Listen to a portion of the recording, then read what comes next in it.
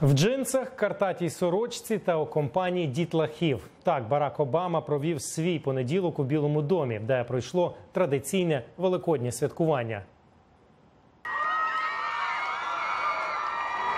Президентська родина привітала гостей з балкону своєї резиденції. Цього року на святкування у Білий Дім запросили дітей військових з усієї країни.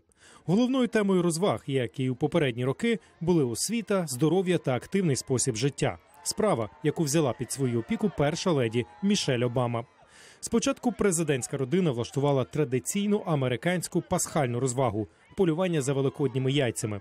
У цьому малечі допомагали Бо і Сані, собаки сім'ї Обами, які за ці роки стали улюбленцями публіки.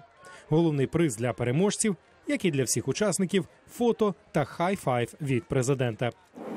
Where the wild things are. Потім для наймолодших читання казок. За словами Барака Обами, його улюблена дитяча книга Там, де живуть чудовиська авторства Моріса Сендека. Мішель Обама принесла іншу книгу Веселкова риба. Начитавшись вдосталь, президент та малеча відправилися розважатися на імпровізований спортивний майданчик, де Барак Обама продемонстрував свою спортивну підготовку, зігравши з малюками у баскетбол та теніс.